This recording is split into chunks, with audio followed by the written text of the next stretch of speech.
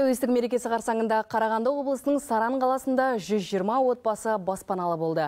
Олардың барлығы ұзақ жыл кезегін күткен пәтерге мұқтаж жандар. Бес қабатты үй отандық жылу үнемдейтін құрылыс материалынан салынған. Дайын панельдер дәл осы Саран қаласындағы зауытта жасалған.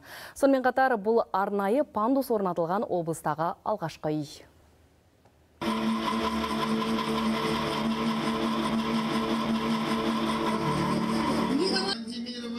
Жаңа үйден баспана бұйырғандардың бірі Валерий Голубоцкий. Бірінші топтағы мүгедек үстіңгі қабатқа кедергісіз кіріп шыға алатынын көріп қатты қуанды. Сыртта автоматты жүйемен жұмыс істейтін пандус орнатылған.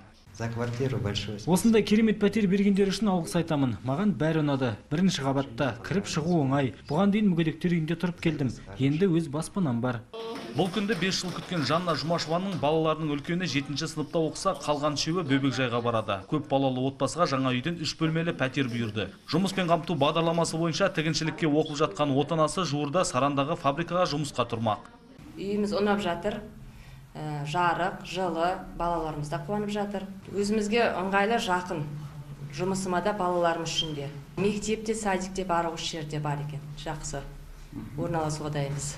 Жаңа үйдің құрылысына таза отандық өнімдер қолданылған. Саран қаласындағы зауытта жасалған ірі панельді термоқабырғалар суық өткізбейді, әрі іштегі жылуды жақсы сақтайды. Бүгінгі күнге дейін дәл осы технологиямен облыста 19 үй салынған.